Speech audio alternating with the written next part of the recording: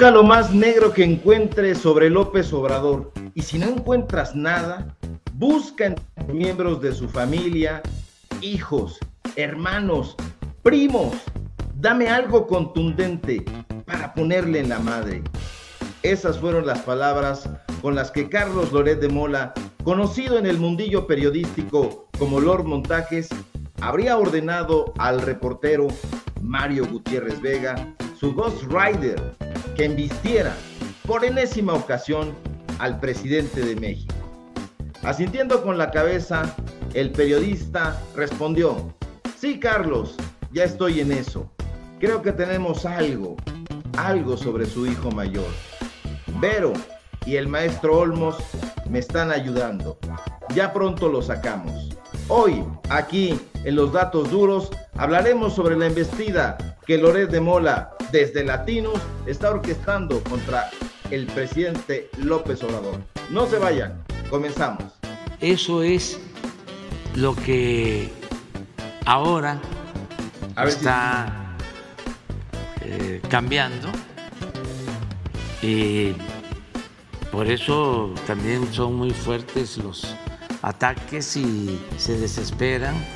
Este fin de semana salió el escándalo de que un hijo mío, José Ramón, ya grande, de 40 años, casado, vivía en una residencia en Houston,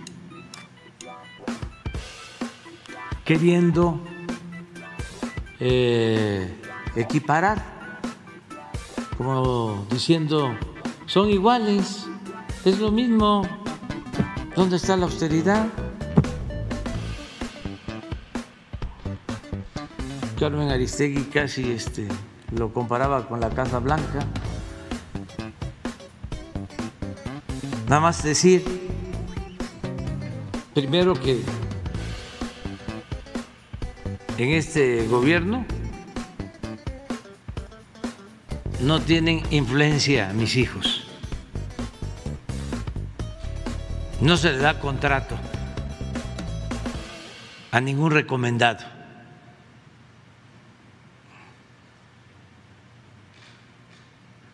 En el asunto del matrimonio, pues ahí está complicado meterse.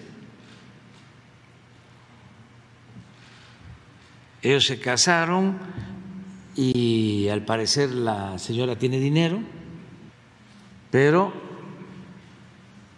no tiene nada que ver con el gobierno.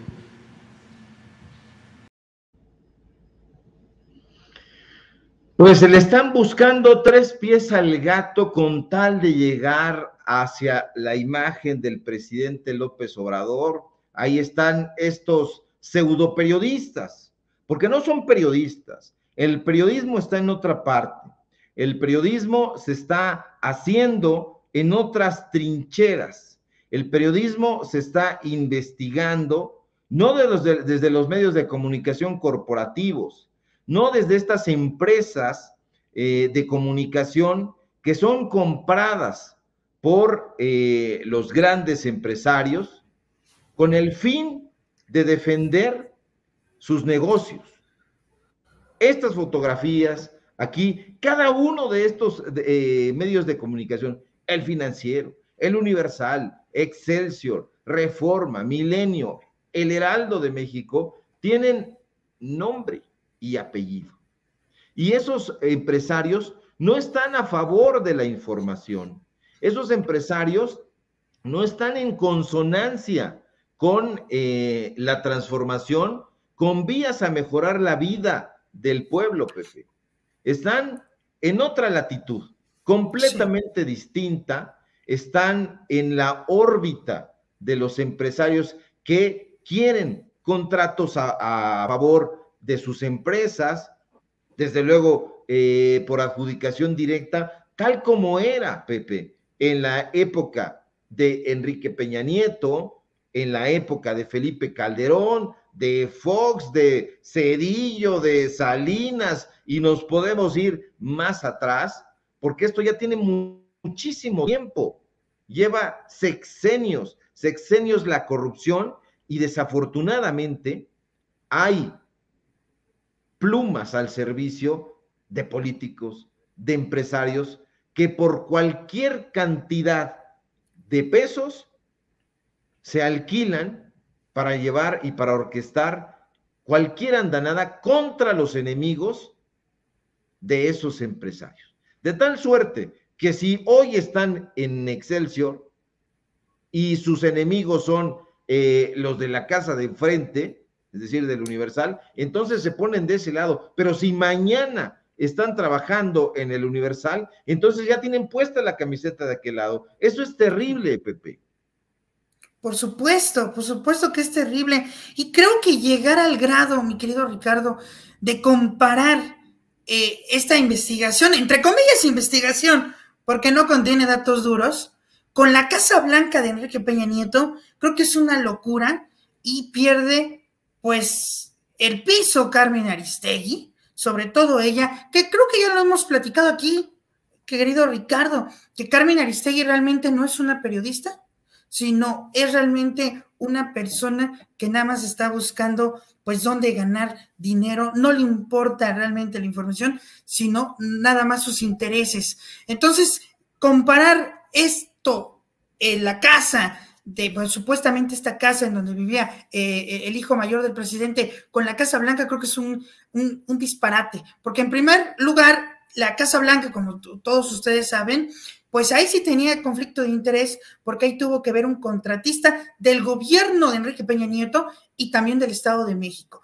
Entonces, y además hay que decirlo, esa investigación de la Casa Blanca nunca la hizo Carmen Aristegui, la hizo un equipo de investigación. Carmen nada más puso su nombre, y, que es Aristegui, Carmen Aristegui, pero realmente ella no investigó para nada, querido Ricardo. Es que es un negocio, Pepe, es un negocio. Eh, Carmen Aristegui es una marca y es una marca publicitaria. Entonces, los cándidos reporteros, sobre todo los que no quieren independizarse, los que no tienen criterio propio, prefieren sacar ahí sus investigaciones en esa plataforma a nombre de Carmen Aristegui para publicitarla porque de otra forma, en otros lugares, en otros lugares eh, donde hubiera un criterio editorial riguroso, no se los permitiría. Carmen Aristegui, sí, tiene razón, ya lo hemos platicado, no es periodista, es conductora de un espacio noticioso, es una informadora en el eh, mejor de los casos, pero definitivamente periodista no es. No se le puede dar calidad de periodista a alguien que nunca ha ejercido eh, la joya de la corona en términos periodísticos, que es el reportaje. El reportaje, como bien se, se sabe y como enseñó él sí, un gran periodista, Vicente Leñero, es la columna vertebral del periodismo. Y ella no ha hecho más que opinar, más que invitar a gente para que se ensarte sola. Hay que decirlo, está buscando las audiencias. Igual que lo está haciendo Carlos Loret de Mola desde los espacios donde eh, le pagan para que diga cualquier cantidad de atrocidades, porque es un peón a las órdenes del empresario en turno. Hoy es un em, eh, eh, peón a las órdenes de la familia Madrazo, antes lo fue a las órdenes del grupo Televisa, es decir, de la familia Azcárraga, pero también de de, todo el grupo Televisa. Él no toma las decisiones ahí, es simple y sencillamente un peón que está rifándose el físico, poniendo la cara, la cara dura, para defender ahí los intereses de su propio equipo. Pudo, pudo Pepe.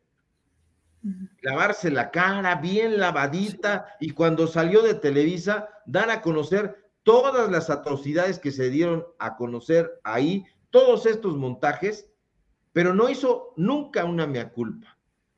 Volvió a hacer lo mismo, lo está haciendo ahora en Latinos y bueno, pues el presidente de la República exhibió una vez más a Loret de Mola este día en la mañanera. Vamos a escuchar las palabras del presidente. Vamos. Pero este señor Lore de Mola, pues, que es un mercenario, hizo un escándalo. Porque cree que somos iguales. No, no. Él estaba y sigue estando al servicio de la mafia del poder. No fue capaz de participar en un montaje de televisión de una señora francesa. Era muy amigo de García Luna y desde luego de Calderón. Son de ese equipo. Fue capaz de inventar cuando el terremoto, lo de la niña Frida Sofía. Imagínense eso.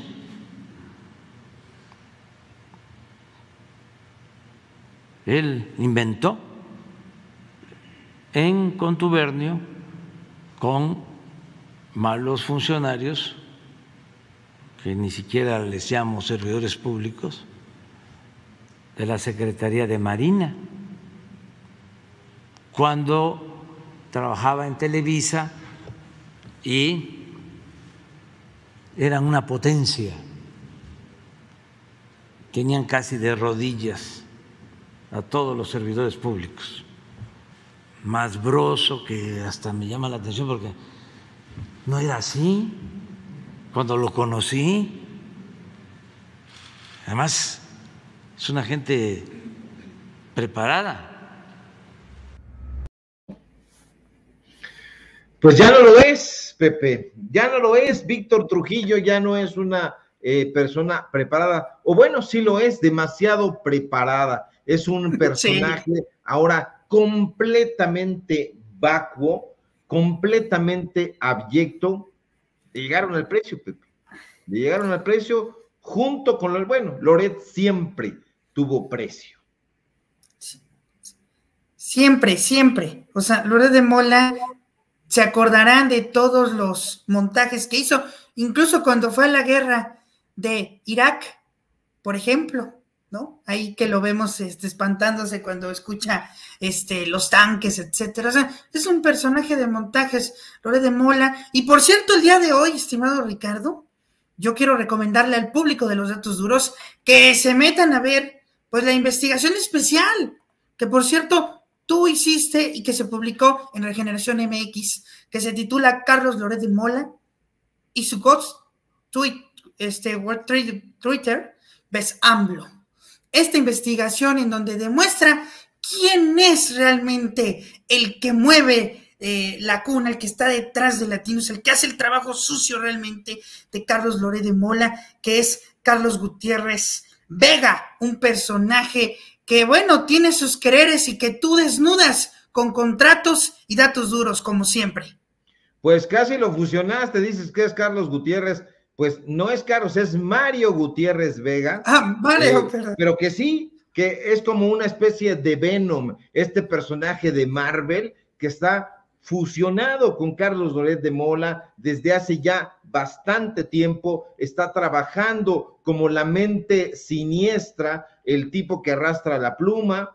Eh, tú dices muy bien, es un personaje de montajes, tanto, tanto ha vivido del montaje que se ha confeccionado él mismo la historia de un periodista que nunca ha sido y que nunca va a ser. Pero para este eh, tema me da mucho gusto saludar ya la mesa, Pepe. Hay que presentarla porque ya nos colgamos.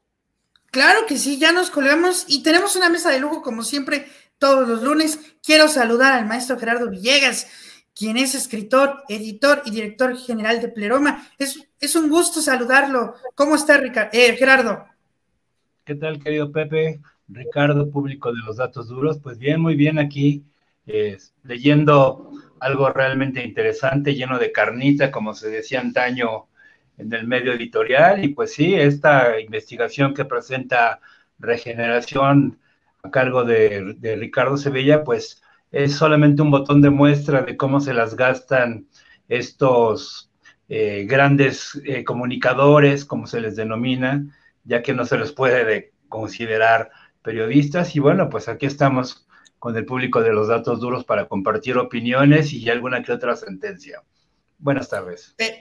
Perfecto, maestro Villegas. Incluso tiene mucha razón porque esta investigación da para abordar muchísimo y también le quiero dar la bienvenida a Molay Massa, estudioso de filosofía e historia.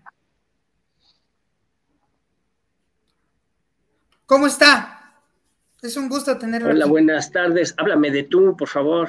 Aquí sobreviviendo. es tenerte aquí. Sobreviviendo a la intoxicación masiva de estos tipos que no tienen, no tienen llenadera en cuanto a las cantidades de lana que con las que trafican y tampoco tienen escrúpulos con respecto a las mentiras que son capaces de inventar.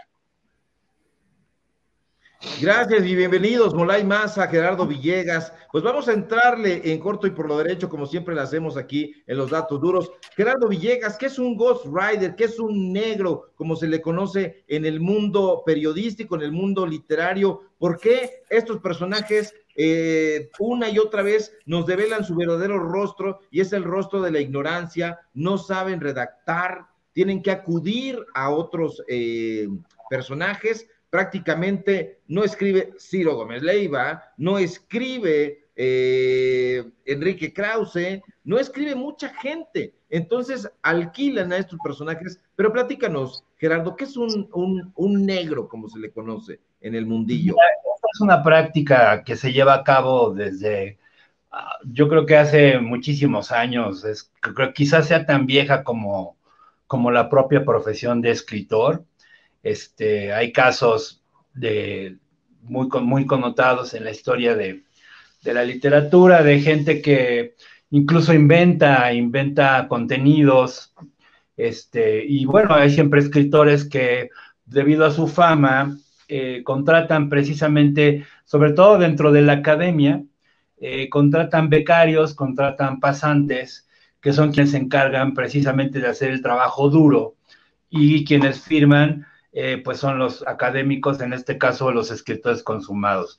Aquí en México, evidentemente, pues hay un pedigrí muy, muy amplio en ese sentido. O sea, Enrique Krause es de los principales eh, escritores, entre comillas, que han empleado ejércitos completos de, de escribas, de escribanos, eh, para realizar sus investigaciones. Tú eres un, experto en ese, en ese tema porque has estado precisamente dentro de las entrañas de, ese monstruo que representa el grupo Clio Letras Libres.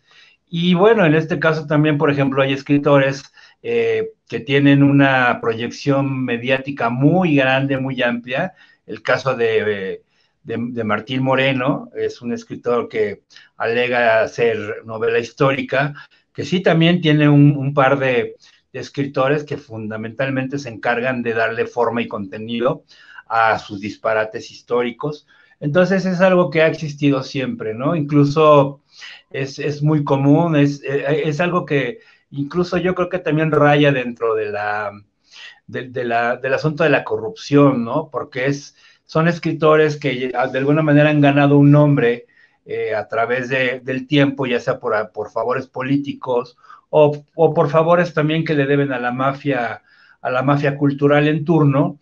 Y bueno, finalmente es un acto de, completa deshonestidad encargarlos y firmar, prácticamente palomear las, las columnas, sobre todo en el, en el, periodismo, pero una de las prácticas yo creo que más deleznables son precisamente la de la publicación de libros y sobre todo de, temas en un momento dado como eh, considerados históricos, ¿no? O de, o de actualidad, que es el, libro del periodismo de actualidad, que fundamentalmente es una pieza eh, clave dentro de, la industria editorial mexicana, porque de acuerdo a cómo va el, el, el, menjurje político, el enjuague político, pues van surgiendo libros a, mansalva en, producciones este, masivas, eh, en serie, como, como hamburguesas de McDonald's, Vemos, por ejemplo, eh, cuántos libros hay sobre el narcotráfico, cuántos libros se escribieron a través, de, digo, a partir de la captura del Chapo Guzmán. Y bueno, este tipo de, consideraciones periodísticas que pretenden ser históricas, pues son también un ejercicio en un momento dado de deshonestidad por parte de esos escritores que no sustentan su, su obra en base a una investigación y sobre todo en base a su trabajo. Naturalmente, le están viendo la cara, ¿no, Gerardo? Le están viendo la cara. es un Claro, aunque hay grandes excepciones, nosotros conocemos santo, seña y nombre de quienes efectivamente llevan a cabo sus investigaciones y son publicadas y son libros que sobreviven al, al escándalo del momento y se van a convertir paulatinamente en, clásicos, porque lo demás es letra muerta, ¿no?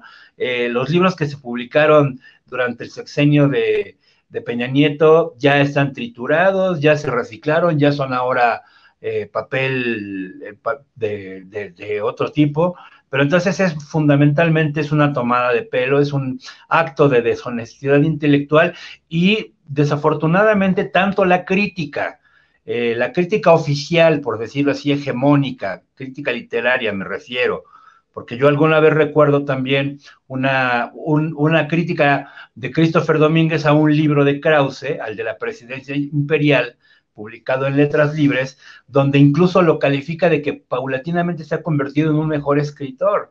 O sea, es un acto de la crítica oficial hegemónica, pero por otro lado, la crítica disidente, de la cual tú eres una parte fundamental en, esta república de las letras, eh, digamos, independientes, pues también hay que poner el, dedo sobre el renglón y exhibir precisamente a esta bola de monstruos, monstruos en el sentido no de grandes eh, pensadores o redactores, sino de monstruos en, cuestiones de, de, fraudulentos, incluso el propio Gabriel Said, el sacrosanto Gabriel Said, pues es sabido que muchos de sus textos definitivamente, sobre todo los periodísticos, tú lo sabes mejor que, no, que nosotros, no son redactados absolutamente por él. Entonces, porque yo los hice, Gerardo, hay que decirlo con todas sus letras, porque yo los hice, porque yo los redacté y Gabriel Said los publicaba en el periódico Reforma, los de, los de Enrique Krause, y bueno, precisamente por eso hay que hacer un llamado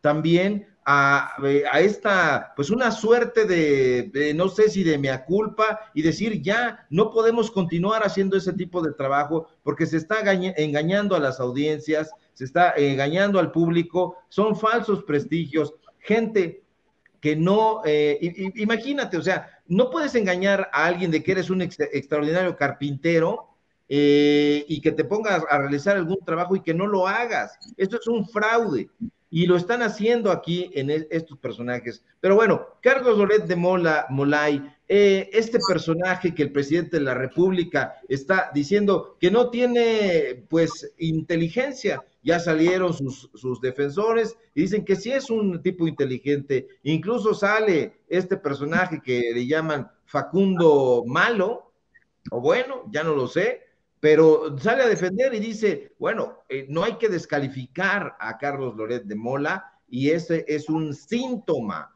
de eh, malo de parte del presidente de la República. ¿Tú qué consideras? ¿En qué concepto tienes a este señor eh, Carlos Loret de Mola? ¿Te parece un periodista que esté dando la batalla por la información o simple y llanamente un, eh, eh, pues un Lord Montajes, como le han llamado. Pues sí, es un Lord Montajes, ¿no? Y, fíjate que sí está dando la batalla. Carlos Loret de Mola sí está dando la batalla por la desinformación. O sea, él es uno de los principales promotores de la intoxicación masiva que promueven los medios de comunicación oligárquicos. Su trabajo no ha sido informar nunca, nunca. Su trabajo ha sido mentir, su trabajo ha sido inventar, en España le dicen inventar bulos, ¿no? Lo que aquí llamamos fake news, ¿no? Los bulos, las mentiras, ¿no? Las mentiras sistemáticamente creadas para engañar, para crear una percepción falsa, para generar una opinión pública contraria al interés común de la población, de la mayoría de la población. Y a eso se han dedicado los medios masivos de intoxicación durante muchos años, en estos últimos, esta, esta última veintena de años que se ha acelerado de tal manera las telecomunicaciones y las tecnologías, los medios de comunicación se han convertido en eso, en, en actores políticos, en instrumentos de la construcción de sentido común, la construcción de ideología, la construcción de una falsa conciencia en las mayorías que tiende a atentar en contra de los intereses de esas mayorías. Y este tipo, Carlos Moret, Loret de Mola, es uno de los artífices de esos productos. No es este, eh, será periodista de oficio, periodista de nombre, pero, pero por supuesto que no, no responde a ningún código ético, no responde a ninguna responsabilidad pública. Él responde a los intereses del capital privado y ataca a cualquier cosa que se mueva en contra de los intereses del gran capital privado. Y ahora sacan esta nota que además tú haces un excelente trabajo periodístico. Y este, este de Carlos Loret de Mola con su Ghost, Ghost Rider contra AMLO. Y están en la, en la exacerbación absoluta de crear una invención, pero fíjense muy bien, esta invención de la casa lujosa del hijo del presidente es parte del manual de la derecha en todo el mundo no, tampoco es una, tampoco esta, esta, el crear esta mentira tampoco es una idea original de, de, Mario Gutiérrez Vega o de Carlos Loret de Mola, ¿no? Es parte del manual. Fíjense que en 2016, recuerdo, ustedes se acordarán cuando fue la irrupción del partido Podemos en España, y, y, le sacan a uno de los, de los militantes más importantes de Podemos en Madrid, ¿no? a este Ramón Espinar, le sacan que tiene un departamento lujosísimo en Madrid y por lo tanto no puede ser de izquierda y por lo tanto no, no es austero en su vida y los izquierdistas deberían vivir en la calle y comer ratas, ¿no? Porque si están en contra del capitalismo, pues ¿para qué tienen hasta ropa, ¿no? Entonces, en, ese, en ese, esa reducción al absurdo de lo que debe ser una militancia de izquierda o una posición este, austera en la vida y en la política, la han llevado como parte del manual de la derecha para atacar a los personajes políticos, a los movimientos sociales o, este, o en, este, en este caso a los gobiernos que no se subordinan a los dictados de los grandes empresarios y de sus intereses, ¿no? Este golpe también es parte del manual de la derecha, no es nada original, ¿no? Pero, pero, y, y es, ahora será parte del historial de estos energúmenos de la intoxicación masiva, con respecto a, esta, historia de montajes, a esta historia de mentiras, donde el presidente Andrés Manuel lo señalaba muy puntualmente. No se nos puede olvidar el caso de, de, Frida Sofía. O sea, lo de Florence Cassés es un montaje violento y aberrante en contra de personas que de alguna manera estaban metidos en una situación que todavía es compleja de entender. Pero en una tragedia como es el terremoto del 2017, en una escuela, en una escuela donde hay niños y niñas, inventarse algo así como lo de Frida Sofía y decir que hablaron con ella y luego llevar ahí al sargento Nuño porque pretendían hacer el montaje de que sí sacaban a una niña de verdad y que sargento Nuño la estaba recibiendo ahí para proyectar a la candidatura presidencial del PRI al sargento Nuño, que era secretario de Educación Pública, que ya estaba en el set de Televisa en, la, escuela primaria, en la escuela que se cayó, ¿no? Ya estaba ahí esperando el momento que le armaran el tinglado para hacer el montaje con la niña rescatada, ¿no? Pero se les filtró que eso era falso y terminó cayéndose eso en, vivo, en televisión nacional, ¿no? Y, este, este tipo es capaz de hacer ese tipo de, aberraciones. Aún así no lo ocurrieron, Molay. Aún así no, pues, lo ocurrieron. No, claro que no lo pueden correr, pues estaba haciendo su trabajo. Hacer eso es su trabajo. Hacer esos montajes es su trabajo. Es el trabajo de los periodistas mentirosos y pantuflos. Es el trabajo de los intoxicadores de la conciencia del pueblo. ¿Y a qué le adjudicas, Molay, que la gente o, que un grupo de, gente amplio todavía le dé, eh, pues todavía lo vea, todavía le crea, comparta lo que hace. ¿A qué se lo adjudicas, Mulay? Pues es que todavía estamos, eh, digamos, estamos en proceso de desintoxicación. No hemos, no hemos democratizado los medios de comunicación. La televisión sigue en poder de estos, de estos privados, respondiendo a intereses este, de las empresas, respondiendo a intereses de la creación de una cultura chatarra para la televisión de basura, para controlar al pueblo, para que el pueblo no tenga conciencia, para que el pueblo no sea libre, para que el pueblo no luche por sus derechos y por sus intereses, para que el pueblo no sea un sujeto libre, ético, responsable, que luche por su libertad. Imagínate un pueblo culto, libre, responsable, que exija sus derechos, no lo puedes controlar, ¿no? Y al ratito te va a votar otro gobierno de izquierda y otro gobierno más de izquierda, y al ratito va a querer democratizar todo, ¿no? Pues entonces, este, todavía la educación en México, el conjunto de la educación, el sistema público de educación y, la, la, comunicación todavía, todavía está subordinada a principios, intereses este, del viejo régimen, todavía perviven estos lastres y siguen siendo muy poderosos económicamente, ideológicamente, culturalmente, siguen siendo muy poderosos. Por eso la batalla cultural que hay que dar es fundamental para emanciparnos desde adentro también, ¿no? Todos tenemos todavía muchos lastres del pasado y cometemos graves errores por esos lastres del pasado, pero nuestra labor individual y colectiva es luchar contra ellos y mejorarnos en esta batalla cotidiana por la libertad común. Gracias, Molay. Y bueno, y en ese sentido, ahorita que tenemos que hacer como que memoria histórica, yo le quiero preguntar, maestro Villegas, eh, ¿cuál fue realmente el papel de Mario Gutiérrez Vega? Ahora sí lo dije bien, de este Mario, de este personaje que realmente es como ya mencionaron un escritor fantasma. ¿Cuál fue el papel? Porque vemos que la investigación, para profundizar un poco más, es un personaje que también tuvo mucho poder durante el gobierno de Felipe Calderón y de Enrique Peña Nieto y también recibió jugosos contratos. ¿Cuáles fueron esos beneficios, maestro Villegas? Pues yo, creo que en este caso es la es un mercenario igual que, su jefe, ¿no? Es decir, eh, este hombre, el Ghostwriter, en realidad hace lo que le mandan es un hombre que es, opera como un soldado, es decir, está programado eh, sin ningún tipo de código de ética para eh, defender o proteger o atacar determinado tipo de intereses y bueno, naturalmente responde a un, a un mandato, en este caso el de uno de, sus jefes, en, el jefe actual, que es este eh, de Mola. Ahora bien, en el pasado, eh, yo no creo que haya, haya tenido poder, más bien, yo lo que creo que fue un hombre beneficiado a través del tráfico de influencias, eh, porque en ningún país del mundo civilizado, como se dice comúnmente, se pueden pagar esas cantidades estratosféricas de, de cientos, más bien de de, cientos de miles, que fueron 300 mil pesos por, por una corrección de estilo de un libro de fotografía, que era lo que iba a corregir, los pies de foto, la página legal, el colofón, eh, el texto de la camisa, qué sé yo.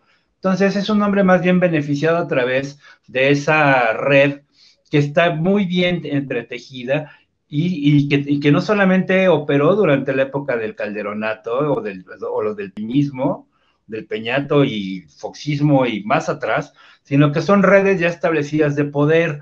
Ahora bien, eh, hablando de lo que decía el, eh, Molay eh, sobre la educación, recordemos que en el 2012, previo a la, a la, a la elección presidencial de, de Enrique Peña Nieto, particularmente esa elección de, donde, donde, donde compite contra Andrés Manuel López Obrador y Josefina Vázquez Mota, si mal no lo recuerdo, porque es, un candidato del PAN que creo que ya se nos ha olvidado, salvo por la lana que se claveteó, este, soltaron un, otro montaje más, en este caso el montaje de, la película denominada de Panzazo, una película que en su momento fue eh, producida por la Asociación eh, sin fines de lucro o, ONG o como quiera que se le llamen actualmente, Mexicanos Primero, que en aquel momento era presidida por el señor X, nada más y nada menos que Claudio X González. En el, es tan, tan, tan, tan grave el montaje que el propio Juan Carlos Rulfo presta su, su, nombre precisamente se, convierte en cómplice del propio Loret y comparten el crédito de, directores. Es decir, Loret de Mora no solamente es reportero de, oficio, que, por cierto dicen que estudió eh, economía en el ITAM, eh, yo lo, he corroborado con algunos viejos colegas que han estado en esa institución, y pues de ser un hombre que no, que no figuraba precisamente en el, ámbito universitario escolar eh, itamita, porque el, ITAM es como un pequeño gobierno donde todo el mundo se conoce, este, es una institución muy pequeña, todos provienen de familias conocidas, algunos becarios no, pero no era una persona muy notoria, es decir, por su asistencia o su brillantez. Entonces, él se autodenomina, él se autoproclama o se proclama reportero.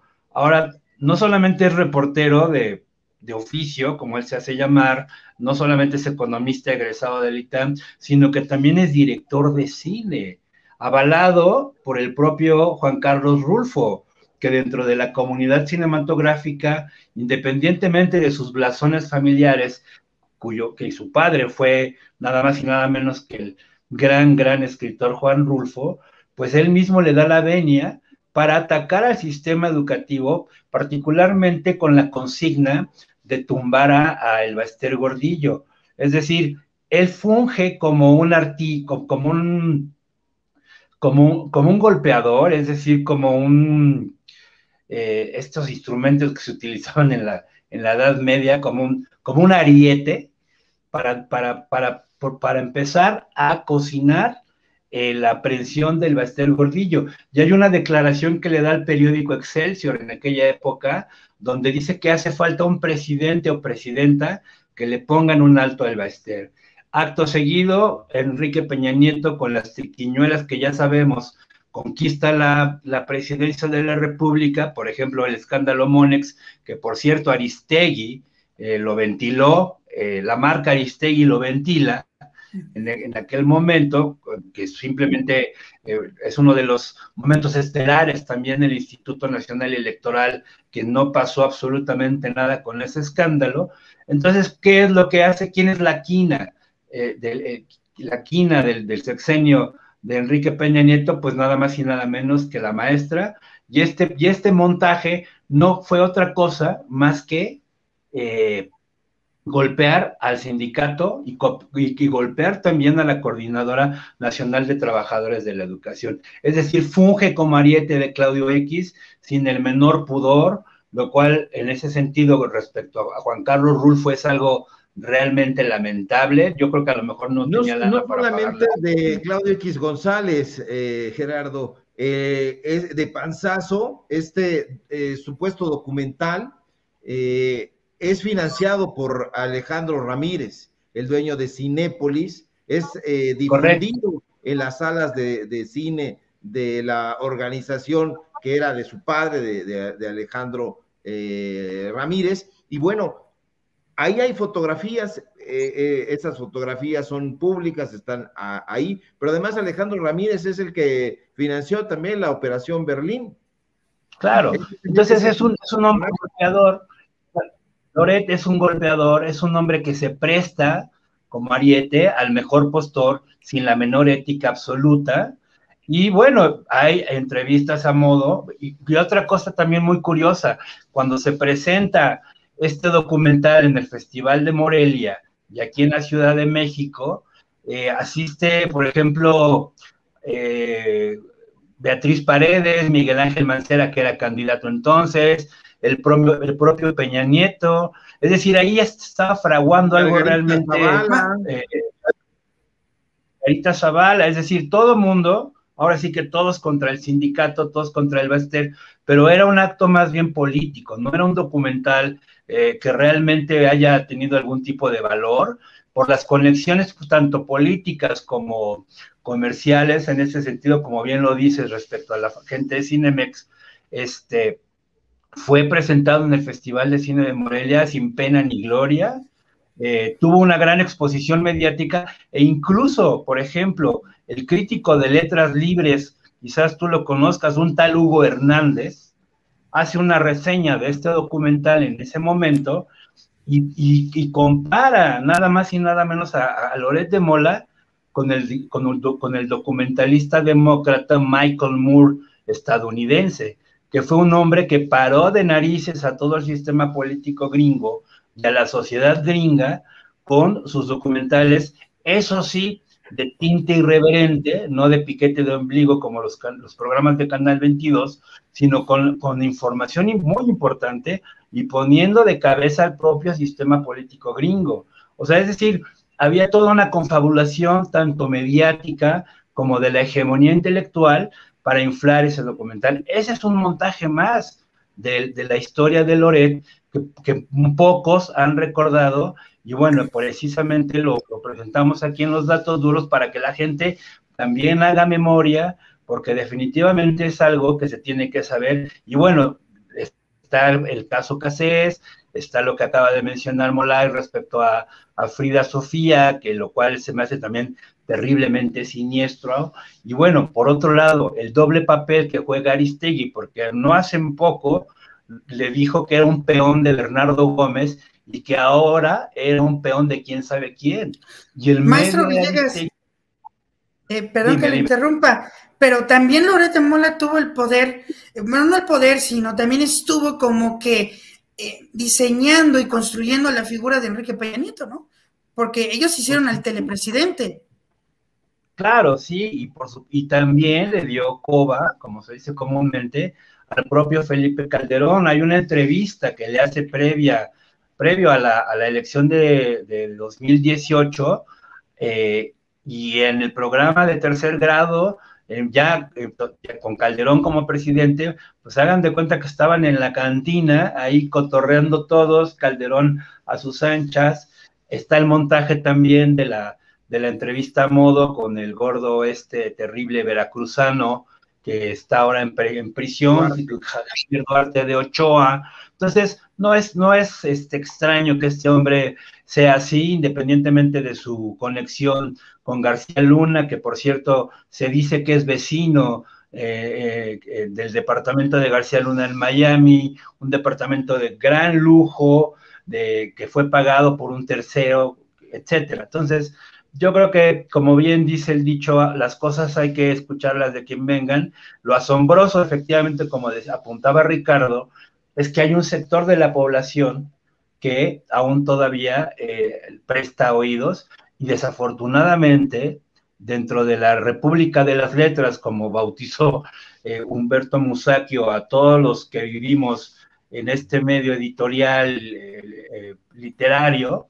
pues muchos de los ciudadanos ilustres de, esa República de las Letras, pues son completamente este, loretistas, derechistas, y son quienes se supone tendrían que tener la conciencia, eh, eh, digamos, crítica para denunciar precisamente ese tipo de, desmanes y, tóxicos, como bien lo ha dicho eh, el Molay, respecto a la, infodemia y a las falsas noticias, a los bulos, y que solamente representan los intereses de un grupo que sigue desesperado y que quiere recuperar sus, eh, privilegios, pues bueno, esa es ahí la consecuencia, compañeros.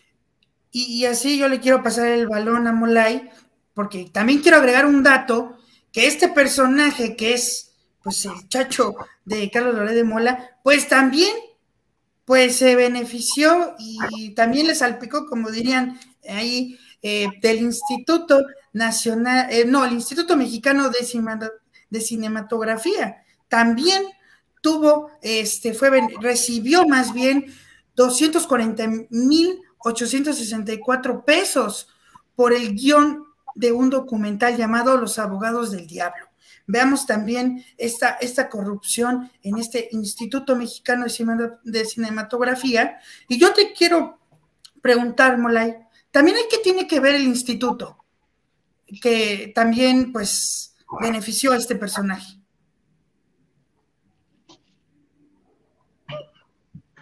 Y lo que habría que ubicar es quiénes estaban a la cabeza, a la cabeza del instituto, ¿no?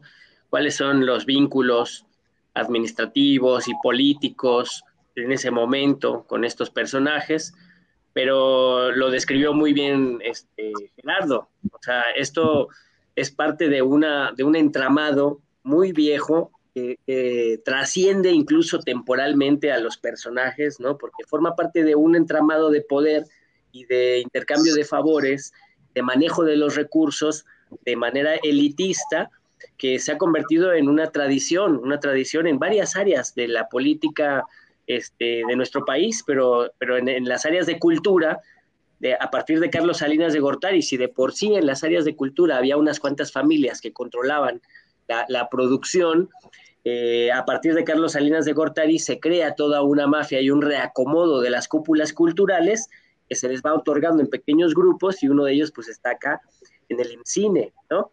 Todos queremos, deseamos y necesitamos un cine de, alto nivel. Tenemos, tenemos gente que trabaja cine de buena calidad, cine de alto nivel, ¿no? Pero, pero, pero justamente esta, esta cooptación que se ha hecho de los espacios de difusión cultural y de distribución de los recursos, pues son usados así. Aquí estamos viendo un ejemplo de, qué tipo, qué tipo de, personeros son los que son financiados por, el, por el, los, espacios de difusión de la cultura, a quienes se les dan los recursos de manera este, desparpajada, ¿no? Este, sin considerar en lo más mínimo ni el interés público ni el buen manejo de los recursos. Y este, yo quisiera, pues, no sé, o sea, observar, ¿no? Hablar con algún alguna persona docta en la materia que nos dijera si hay algo de ilegal en esto. Es muy probable que no haya algo de ilegal. El problema es que es inmoral.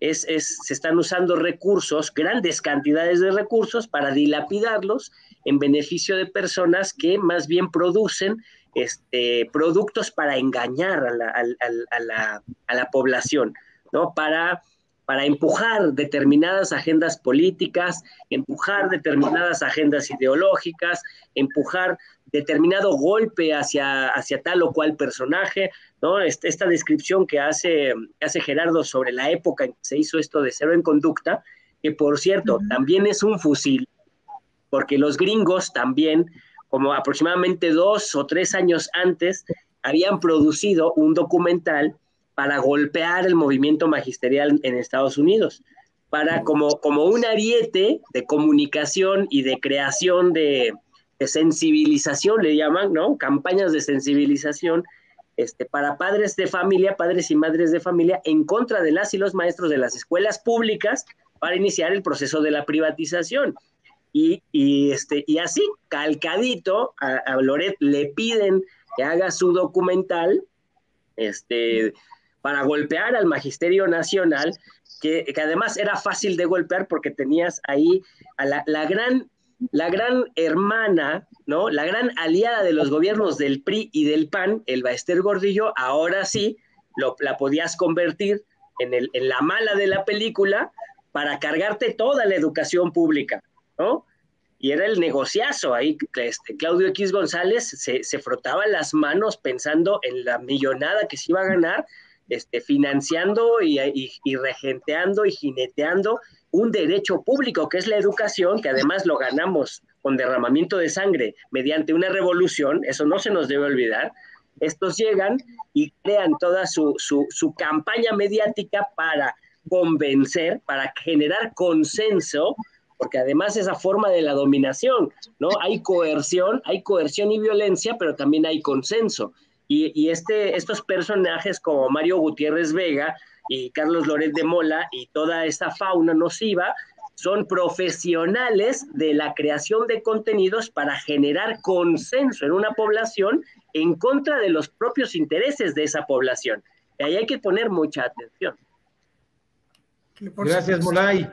Gerardo, ya nos estamos acercando al final de los datos duros, pero eh, aquí hay, hay elementos muy importantes. Le voy a pedir a Alexis que nos ponga eh, los contratos. Por favor, Alexis, pon, estos contratos que aparecen en, transparencia. Este es del INCINE. Eh, y yo me pregunto si será inmoral, como dice Molay, o será absolutamente corrupto, porque ya está recibiendo Mario Gutiérrez Vega dinero del erario.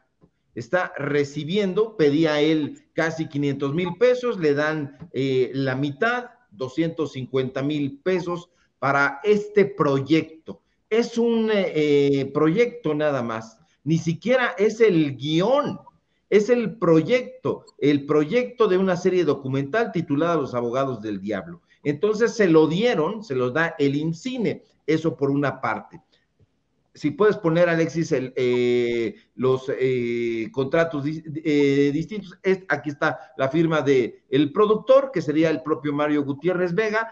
aquí están los personajes que firman de parte del Instituto Mexicano de Cinematografía, pero hay más, hay más.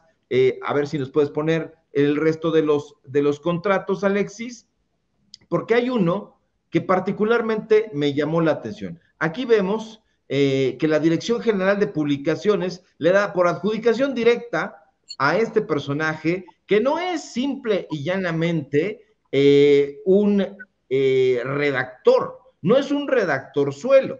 Aquí le están dando 136.370 pesos por hacer la corrección del catálogo del Conaculta, pero da la curiosa, digamos, situación de que la titular de la Dirección General de Publicaciones es la hija de José Emilio Pacheco en ese momento y de Cristina Pacheco, Laura Emilia Pacheco, pero que da la curiosidad, a ver si sigues poniendo, Alexis, por favor, el resto de los, de los contratos. Hay un contrato ahí de la Dirección General de Conaculta, el, el contrato de Conaculta, porque ahí viene la firma de Laura Emilia Pacheco.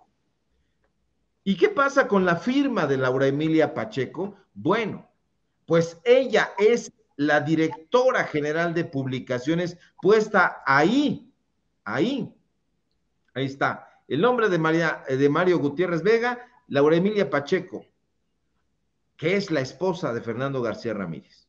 Es la pareja de Fernando García Ramírez, durante mucho tiempo el subdirector de Letras Libres y el orquestador principal de la Operación Berlín. Gerardo, Laura Emilia Pacheco, ¿qué recuerdos te trae Laura Emilia Pacheco y de qué estamos hablando aquí? Eh, tú conoces perfectamente a esta dupla, a la dupla que se estuvo sirviendo con la cuchara grande, el propio Rafael Tobari de Teresa, que era un corruptote, tuvo que demandar a Laura Emilia Pacheco por corrupción. Imagínese el público eso. Prueba suficiente de que no importa que haya sido hija de José Emilio Pacheco ni de Cristina Pacheco, es una corrupta, Gerardo, ¿no? Por supuesto, Ricardo. Es, insisto, es un tráfico de, influencias, eh, como se le denomina en el alta esfera política, tráfico de influencias.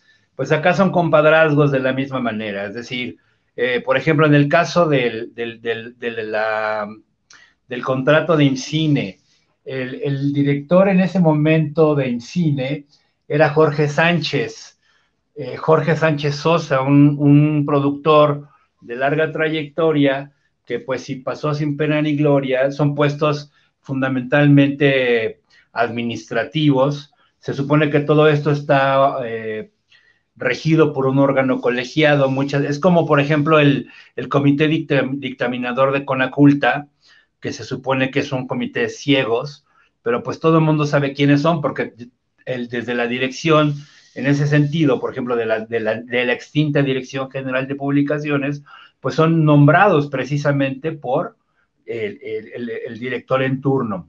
Ahora, la gestión de José Emilia, digo, de Laura Emilia, pues también estuvo llena de, patrañas. No sé si recuerdas, y le, recuerdo, al, bueno, le voy a, le al público, que incluso ella misma se, se automenajean, es decir, hay, hay, un, hay un, una nota periodística donde la propia eh, Laura Emilia es reconocida por su trayectoria dentro del mundo editorial, cuando realmente lo que ella ostenta no es más que el, apellido. Es decir, se, hace llamar traductora, narradora, eh, escritora, podadora, este, tejedora, qué sé yo, pero en realidad no figura dentro del panteón eh, literario pues, de los grandes pesos, incluso a nivel comercial. Es decir, Martín Moreno, o sea, finalmente vemos los libros de él en el Sanborns, en alguna época se veían en los, en, los baños de los Sanborns eh, las portadas de los libros de Alfaguara. Recuerdo haber visto con mucho espanto una vez una fotografía de Alberto Ruiz Sánchez en los mijitorios del Sanborns, pero Laura Emilia Pacheco en ese sentido no es más que la, hija de alguien que pues eh, en ese sentido José Emilio, a quien conocí, pues no, él no tejía ese tipo de relaciones. Quien sí las tejió y las ha tejido y las sigue tejiendo, pues es la propia Cristina Pacheco. No en vano, su programa ya también anquilosado, este, su columna en la jornada semanal, no sé si sigue apareciendo, perdón, semanalmente en la, en la, en la contratapa, es decir, en el la mar de historias todavía sigue.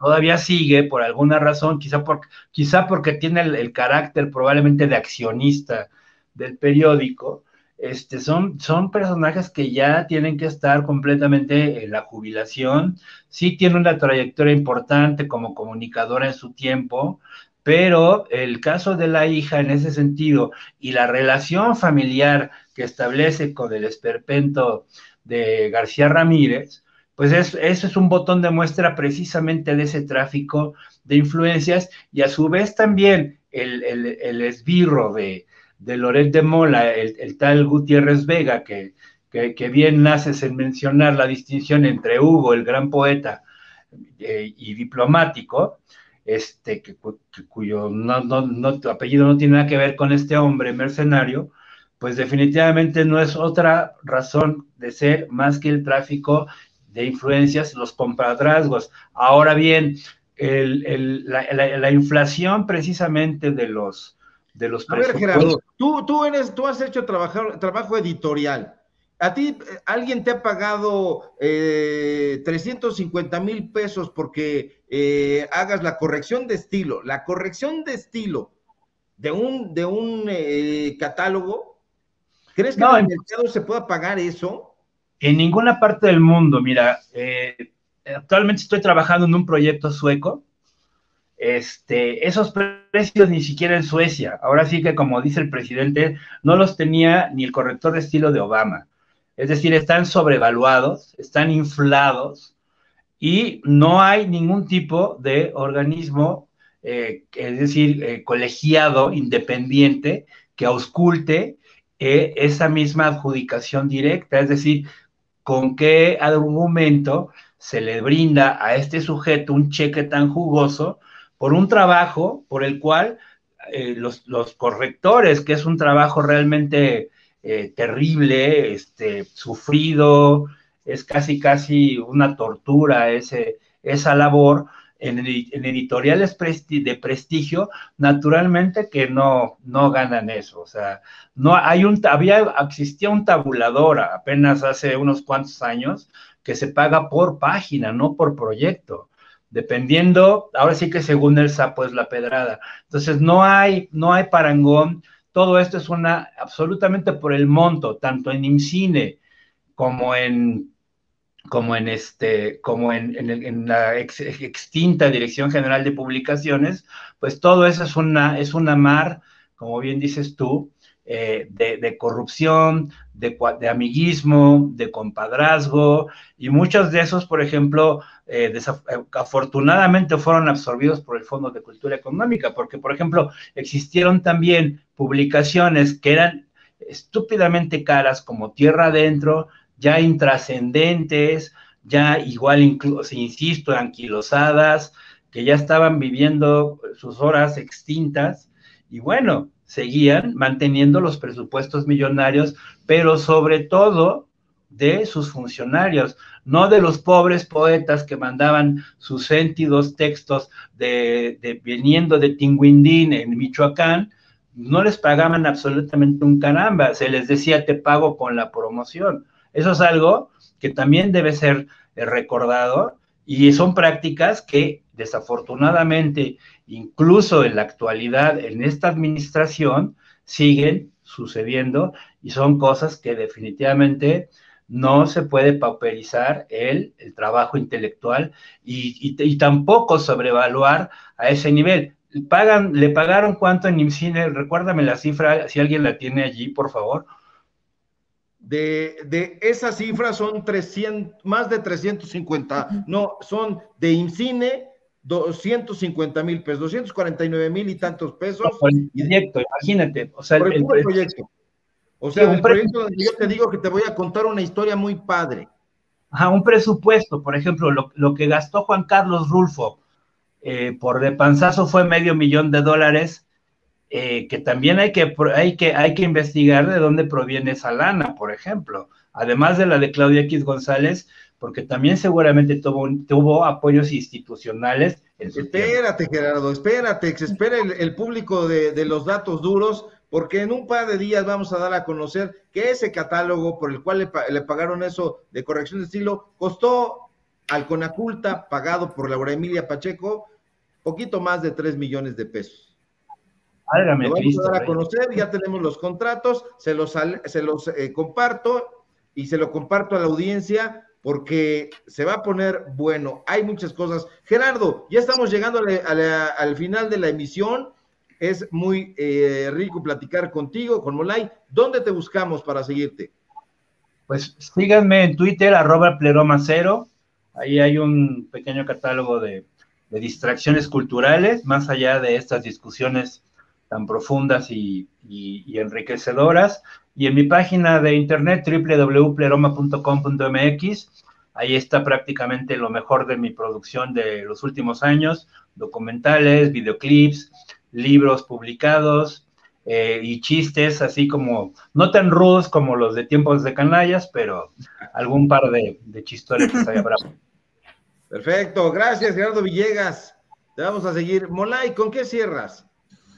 Pues agradeciéndoles, agradeciendo al auditorio combativo de regeneración, agradeciendo a, a ustedes, camaradas José Manuel, Ricardo, Gerardo, este, por esta tarde, por esta, por invitarme a platicar con ustedes y ah, llamando a, quienes nos escuchan y nos ven a poner mucha atención y a no fiarnos de las primeras impresiones y sobre todo cuando vienen de los medios de comunicación eh, tradicionales y corporativos y este, oligárquicos. Siempre hay que dudar de lo que vemos, de lo que leemos, seguir indagando, hacernos de la mayor información posible para hacernos nuestro propio juicio que nadie piense por nosotros, la, la, la, gran batalla que estamos librando en contra de estos personeros de la propaganda política, de la oligarquía, de estos mercenarios, muy bien lo dijo Ricardo, son mercenarios, Loret de Mola y su, y su fantasma, su escritor fantasma, este, para combatirlos a ellos, lo que tenemos que hacernos es crearnos nuestro propio juicio y pensar con cabeza propia. Y eso es un proceso de liberación complejo que hoy por hoy Andrés Manuel llama la revolución de las conciencias. Entonces hay que luchar por esa revolución de las conciencias para este, no dejarnos engañar y, y, llevar a juicio a estos criminales corruptos.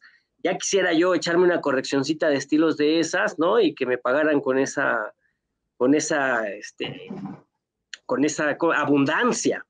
¿No? Y este, bueno, es injusto para quienes son mal pagados y están pauperizados por el gran trabajo que hacen, tanto en el ámbito del periodismo, que además es una labor precarizada, ¿no? Como en el ámbito cultural y de, y de la y de las letras, donde la gran, gran mayoría de quienes producen están en la pauperización. ¿no? Y este, hay que luchar mucho por salir de esta desigualdad, pero hay que poner en su lugar a quienes han sido privilegiados de esta desigualdad. Muchas gracias, Molay. ¿Dónde te seguimos? Por cierto, Molay, ya escribiste tu, tu, columna para regeneración. Sale mañana. Invito al público a que te lea estos análisis profundos que nos obsequias. ¿Dónde te seguimos, Molay? Este, sí, y que me disculpen porque sí, yo no, yo no, no soy escritor fantasma, yo no sé redactar, pero hago la luchita. Este, y no tengo 300 mil pesos para pagarme un redactor de esos, ¿no? Este, no, me encuentran en Molay Masa en Twitter, Molay Masa en Facebook, ahí, ahí pueden encontrar también nuestras convocatorias a formar círculos de estudio y de discusión política para elevar nuestra conciencia y nuestra capacidad de crítica de la realidad para transformarla. Muchas gracias, Molay. Molay Massa, estudioso de filosofía y de historia. Te vamos a seguir con mucho gusto. Gracias, Gerardo Villegas. Ya cerramos eh, el programa, eh, ya terminamos, eh, querido Pepe Fuentes. Claro que sí, incluso pues se dejaron muchos datos que hay que seguir, querido Ricardo, que incluso yo quiero mencionar rapidísimo que faltó mencionar que Alonso Luis Palacios, hay que recordar este personaje, que es amigo de Mario, pues la película que se hizo sobre, sobre policías recibió financiamiento de Open Society Foundation, de una de las organizaciones del magnate, como tú lo bien lo dices en tu investigación, George Soros. También hay que mencionar ese dato y pues hay que seguir con estas investigaciones, estimado Ricardo.